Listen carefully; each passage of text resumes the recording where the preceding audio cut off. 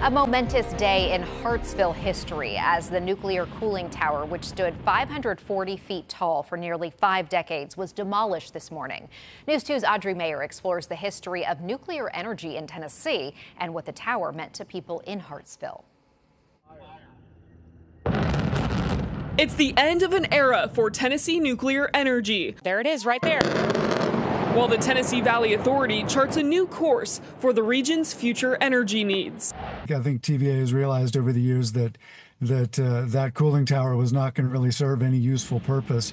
Uh, we were not going to complete uh, any of those four reactors that were early under construction. That that site is is used for a number of other things, and it was really just in the way. For Hartsville locals, the nuclear cooling tower was a landmark, which represented a time of job creation and economic prosperity. Is you know my father actually built that thing. Kelly Key remembers his father working at the site when Kelly was in high school. But what I really remember was, you know, we owned a farm and uh, we were in debt.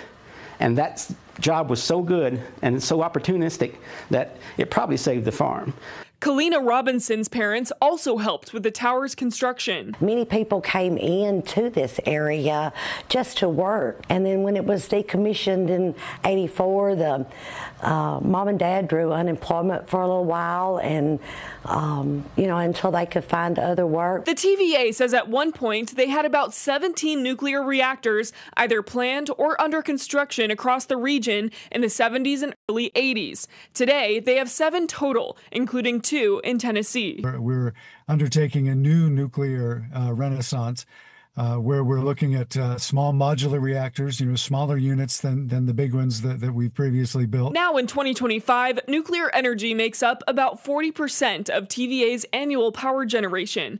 And the TVA is still planning to build more power plants in the region, including a natural gas plant proposed for Humphreys County. The TVA expects to generate enough power for nearly 4 million more homes over the next decade. Audrey Mayer, News 2.